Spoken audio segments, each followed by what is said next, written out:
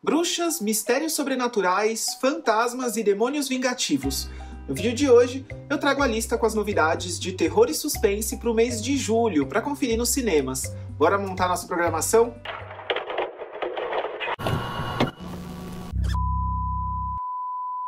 O desconhecido!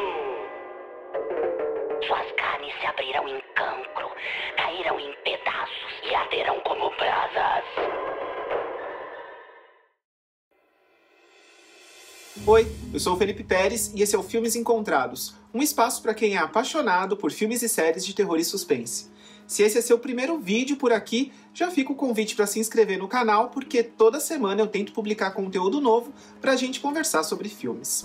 Antes do primeiro longa de julho, vale destacar a previsão da pré-estreia do terror brasileiro Destino das Sombras, que vai chegar aos cinemas com distribuição da Moro Filmes, uma produtora e distribuidora focada em filmes independentes. Destino das Sombras, inclusive, é de 2018. Ele chegou a ser exibido no Macabro, Festival Internacional de Horror, mas só agora chegará às telas e é a chance de finalmente conferir o filme.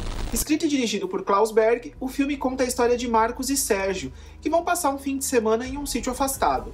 Sérgio, que vem de um divórcio recente, também leva sua filha para o local, a pequena Eduarda. E lá eles se deparam com uma história macabra sobre uma criança desaparecida, e logo o passeio se torna mais sinistro quando eventos inexplicáveis acontecem na casa. A data 29 de junho é uma previsão. Alguns sites divulgaram como data de estreia, mas no site oficial do filme a data está descrita como uma pré-estreia. Então vale a pena ficar de olho no site oficial que eu vou deixar destacado aqui no vídeo, caso aconteça aí alguma alteração no lançamento. Espero que venha para algum cinema aqui perto de casa, porque eu tô bem curioso para assistir esse aqui.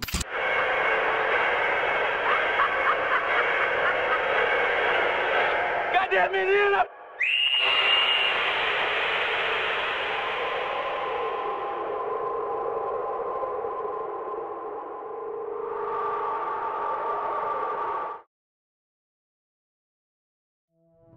Agora, adentrando nas estreias de julho, esse mês traz diversos lançamentos dentre terror, suspense e mistério. Começando no dia 6 por Sobrenatural A Porta Vermelha, o quinto capítulo da franquia Insidious, criada por James Wan, que chegou a dirigir os dois primeiros filmes.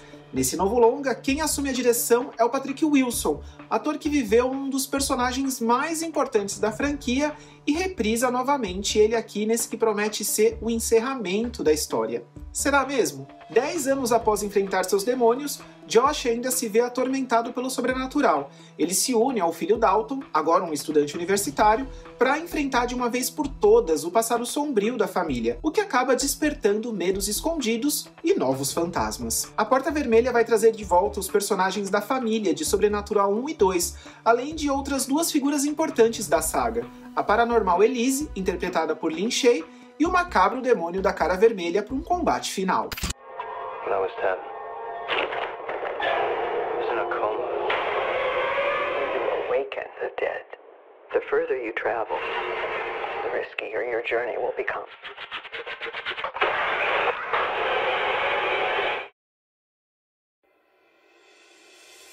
Tá ansioso por essa estreia ou acha que Sobrenatural já foi longe demais? Me conta nos comentários e confere depois o vídeo que eu fiz sobre o filme, comentando as minhas primeiras impressões do material de divulgação e as minhas expectativas sobre esse que eu tenho lá minhas dúvidas se vai ser mesmo o capítulo final ou não. Talvez para a família Lambert, mas acho que os fantasmas e demônios vão acabar voltando cedo ou tarde. Quantos capítulos finais a gente já não viu de franquias que continuaram depois, não é? Sexta-feira 13 que o diga.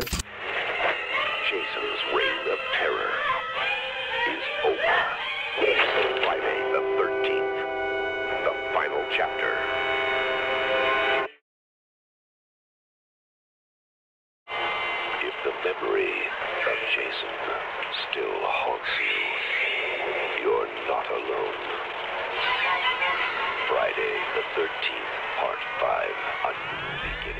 Mas além de Sobrenatural 5, no dia 6 também tem um importante lançamento de A Praga, filme perdido do mestre cineasta José Mojica Marins, que foi recuperado e será lançado nos cinemas pela Elo Studios. O filme foi produzido em 1980 e não chegou a ser concluído na época, sendo dado como perdido. Na história, o casal Juvenal e Maria têm um encontro sinistro com uma idosa durante um passeio no campo. Irritada por eles pararem em frente à sua casa para tirar fotos, a idosa se revela uma bruxa e joga uma terrível maldição em Juvenal. Com isso, o homem desenvolve aí uma bizarra fome por carne humana que se revela insaciável. Vale destacar que o resgate dessa obra ganhou uma nova abertura em forma de curta-metragem, onde o processo de recuperação e finalização de A Praga foi detalhado. Definitivamente uma estreia imperdível para conferir aí um trabalho inédito de um dos cineastas mais importantes do cinema de horror e que se tornou imortal com sua ousada e criativa filmografia e também como o icônico personagem Zé do Caixão. Pode falar, minha filha. Meu pai, a gente tá com um grande problema. É por causa de uma velha maluca que jogou uma praga em mim.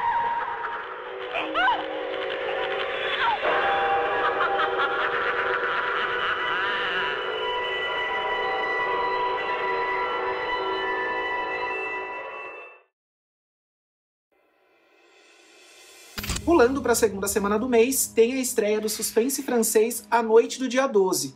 O longa apresenta um caso de feminicídio que se torna uma forte obsessão para um policial. E a data de lançamento do filme está marcada para uma quarta-feira, dia 12, justamente para afirmar o 12 do título. Olha só um trecho do trailer.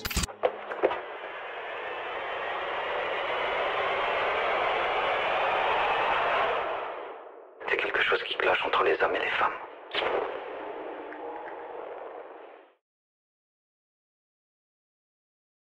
A Noite do Dia 12 ganhou não só um, mas seis prêmios no César, uma das principais premiações do cinema francês. E dentre as diversas categorias vencidas, vale destacar as de melhor filme, melhor diretor, melhor roteiro adaptado e melhor som. Daí um suspense que vale a pena ficar de olho.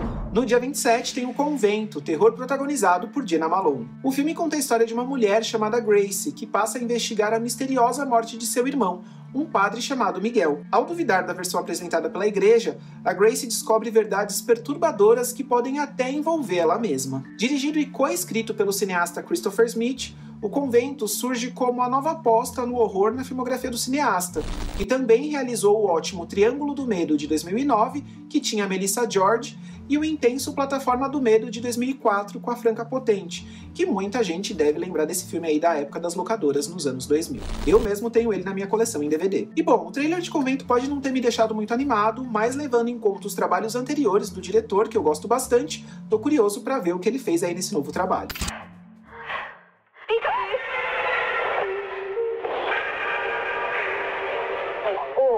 Lying.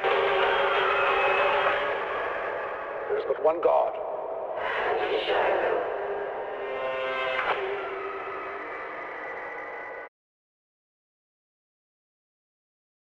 Fechando o mês, tem mais duas estreias para ficar de olho que flertam aí com o terror e o suspense. Uma delas é a mais nova adaptação de A Mansão Mal Assombrada da Disney, que estreia no dia 27 de julho e chega aos cinemas no aniversário de 20 anos do longa que foi protagonizado pelo Ed Murphy lá em 2003. Essa nova versão traz aí uma nova família lidando com o sobrenatural em seu recém-adquirido imóvel, que estava com um valor bem abaixo do mercado por um motivo peculiar e digamos assim bem sombrio. Destaque para as presenças no elenco de Rosário Dawson, Jamie Lee Curtis, Danny DeVito e Nona Ryder. Tem muita nostalgia e memória afetiva para mim envolvida aí nesse elenco.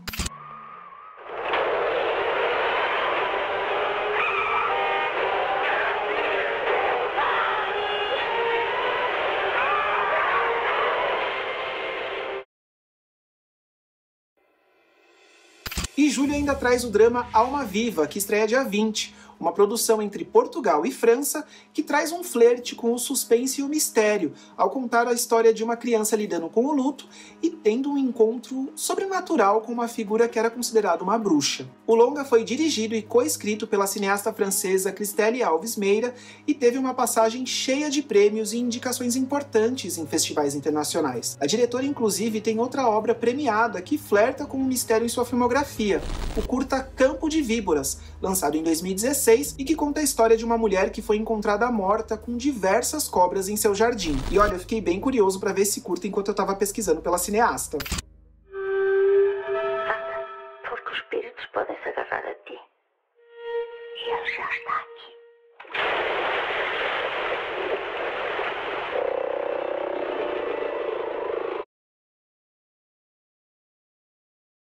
Bastante coisa para assistir em julho. Já me conta aí nos comentários o que você pretende ver esse mês nos cinemas e deixa um like se você gostou do conteúdo. Confere também se você tá inscrito para receber os próximos vídeos aqui do Filmes Encontrados, porque toda semana eu tento publicar conteúdo novo por aqui. Bons filmes para você e até o próximo vídeo.